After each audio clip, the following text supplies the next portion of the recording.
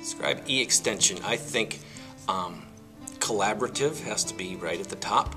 Um, two words, technology driven and efficient. Um, those things are bringing, it's bringing people together, using the technology and gaining efficiencies by working together.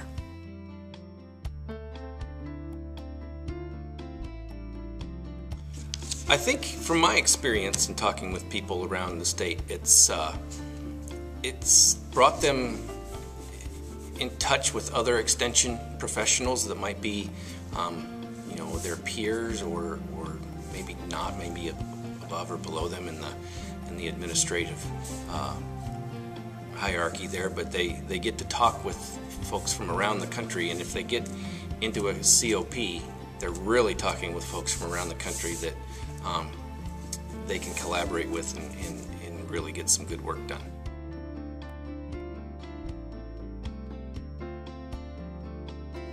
Oh, that's the future of eXtension. Um, boy, you know, I think the sky's the limit. As new technologies emerge and, and even social, new social medias or, or whatever, uh, I think the extension will be positioned to take advantage of those, and I think it will just grow its audience by leaps and bounds. Um, they are not laggards in, in anything, and when something new comes along and it's applicable and uh, and they prove that it will work for the organization, they adopt it very quick. So who knows? But I'm very optimistic.